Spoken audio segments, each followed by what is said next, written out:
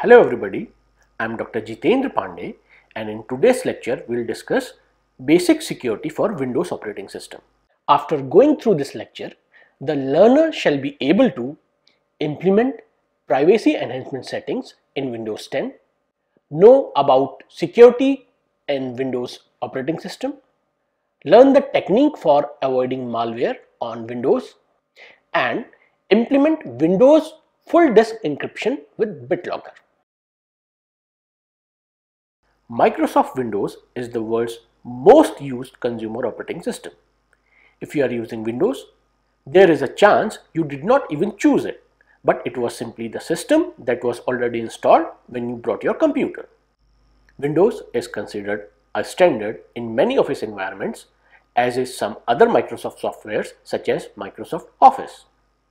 Some common and specialized software is only available for Windows. The popularity of Windows also makes it a target for malware.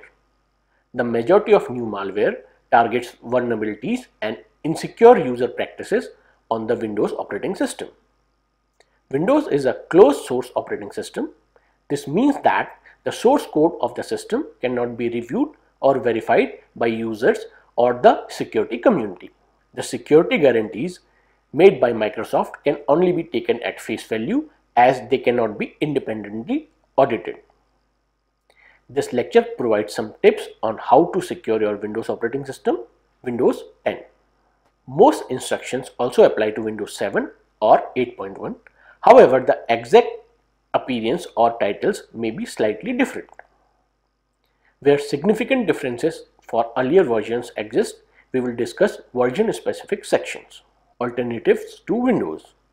Many people may not even know that there are alternatives to Windows. Mac is the line of computers manufactured exclusively by Apple and running their own operating system called Mac OS X. Then there is a Unix-like family of operating system of which Linux is the most well known. These are free and open source operating systems which can be distributed freely and with source code which can be independently audited or modified by anyone. There are many flavors of GNU Linux. Some popular ones include Ubuntu, Debian, Fedora and Mint. GNU Linux can run on most computers which operates Microsoft Windows. Windows communicates information from your computer back to Microsoft and other servers which can violate the privacy of the user. To limit though not eliminate these communications, there are some configuration options you can select. The process will be different if you are installing a new copy of Windows on a computer or if you are working on a computer with Windows already installed. So we'll first discuss how to select privacy protection options when installing Windows. The first step is while installing Windows, you will be asked to accept Express settings which contains the most invasive Microsoft selected settings to send personal data to the company and its advertising partners. Instead of accepting express setting, click custom settings. Please note that you may make your own decision on each of the options that we are going to cover based on your own comfort level, trading privacy and functionality. We will provide our suggestions for the best privacy and security. The second step is on the first customize settings screen, click on all options so that they will turn to off. Third step is click next to move to the next customize settings screen. And the fourth step is on the second customize settings screen, there is an option called use SmartScreen online service to help protect against malicious contents and downloads in sites loaded by Windows browsers and store apps. Activate it as it will enhance security. For the remaining options, click on the tab to change them to off. Step 5. Click next and continue with Windows installation. If you already have Windows installed, you can select privacy protection options through the following steps. Step 1. Select settings through the main Windows menu bar as shown in the screen. Step 2. Click privacy through your settings screen. Through the following tabs, you can configure your settings to enhance your privacy. First is General tab. Step 1. To limit the amount of data collected by third parties, click on all the buttons to turn them off. The second step is to limit personal ads on browsers, click the Message by Microsoft Advertising and other personalization info link under the privacy options. This will direct you to Microsoft's personalized ads website. Step 3. Click the button under personalized ads in the browser to turn it off. Step 4. Click the button under personalized ads wherever I use my Microsoft account to turn it off. Now we'll discuss about location tab. The first step is click the button under the location to turn it off. This prevents third parties from collecting location data. Step 2. Scroll down to the location history section of the location settings. Click the clear button to clear your device history. Step 3. Scroll further down to configure the location access that apps can have through your device. To limit the access of these apps to your location data, click on their respective buttons to turn them off. Now let us see how we can configure camera tab to enhance our security settings. Step 1. Click the button under let apps use my camera to turn it off. Step 2. To restrict apps from accessing your camera, click on their respective buttons to turn them off. Now let us see how microphone tab can be securely configured. Step 1. Click the button under let apps use my microphone to turn it off. Step 2.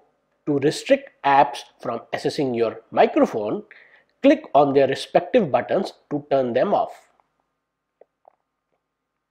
Speech, inking and typing tab. Step 1. To limit Microsoft Form collecting information like your contacts, typing history, calendar events, speech and handwriting patterns, do not click on get to know me button and ensure that any eventual dials on this screen are turned off. Account Info tab. Step 1. Click the button under the Let Apps Access My Name, Picture and Other Account Info to turn it off and to limit apps from accessing your account information. Contacts tab. Step 1. To restrict apps from accessing your contacts, click on their respective buttons to turn them off. Calendar tab. Step 1. Click the button under the Let Apps Use My Calendar to turn it off. Step 2. To restrict apps from accessing your calendar, click on their respective buttons to turn them off. Call History tab. Step 1. Click the button under the Let Apps Use My Call History to turn it off. Step 2. To restrict apps from accessing your call history, click on their respective buttons to turn them off. Email tab. Click the button under the Let Apps Access and send email to turn it off. Step 2. To restrict apps from accessing and sending email, click on their respective buttons to turn them off. Messaging tab. Step 1. Choose apps that can read or send messages by clicking on their respective buttons to turn them on or off. Radios tab. Step 1. Click the button under the Let Apps Control Radios to turn it off. Other Devices tab. Step 1.